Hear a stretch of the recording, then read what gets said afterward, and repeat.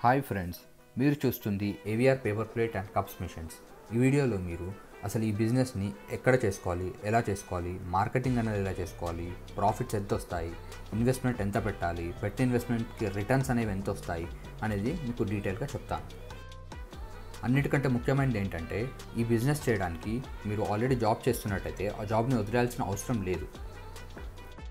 ఈ బిజినెస్ మొత్తాన్ని మీకు ఒక ఐదు పార్ట్లలో నేను ఎక్స్ప్లెయిన్ చేస్తాను.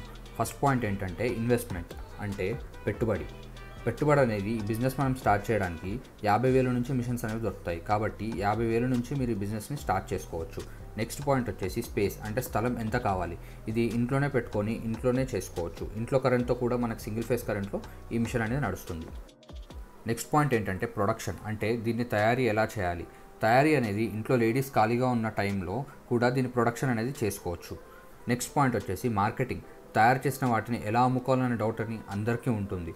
ఇది డిస్పోజబుల్ ఐటమ్ అంటే ఒక్కసారి కొన్న ప్లేట్ని ఒకేసారి వాడడానికి ఉంటుంది. అంటే తిని పాడేస్తారు కాబట్టి మీకు ఒక ఐదు ఆరు షాపులు క- కరెక్ట్గా దొరికితే ఆ షాపుల వాళ్ళకి మీరు రెగ్యులర్గా సప్లై అనేది చేసుకోవచ్చు.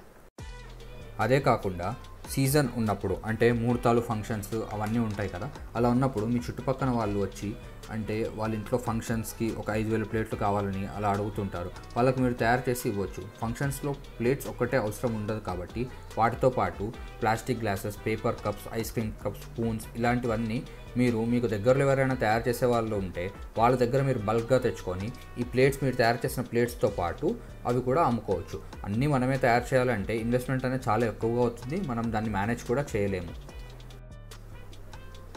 ఈ ప్లేట్స్ తయారు చేయడంతో పాటు ఈ ఐటమ్స్ అన్ని మీరు ట్రేడింగ్ చేయడం వల్ల అంటే తెచ్చి అమ్మడం వల్ల ఆదాయం అనేది ఎక్స్ట్రాగా వస్తుంది. అలాగే మీ దగ్గరకు వచ్చే ఈ చుట్టుపక్కల నుంచి వచ్చే వాళ్ళ ఆర్డర్స్ కానీ మీరు సప్లై చేసే కిరాణా షాపులు హోల్సేల్ షాపులు డిస్ట్రిబ్యూటర్స్ కానీ ఇవన్నీ మీ దగ్గర దొరుకుతాయంటే మీకు బిజినెస్ ఇవ్వడానికి ఎక్కువగా ఇంట్రెస్ట్ చూపిస్తారు. నెక్స్ట్ పాయింట్ వచ్చేసి ప్రాఫిట్స్ అంటే లాభాలు.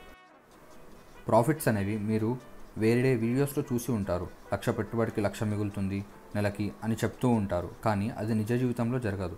పేపర్ మీద లెక్క వేసి చూపించాలంటే ఎంతైనా చూపించవచ్చు అలా లక్షకి లక్ష మిగిలేటట్టయితే పెద్ద పెద్ద ఇండస్ట్రీ వాళ్ళు కూడా అన్నీ వదిలేసి ఇదే బిజినెస్ చేస్తారు. వాస్తవానికి యాభై నుంచి అరవై వేలు ఈ బిజినెస్లో సంపాదించుకోవచ్చు.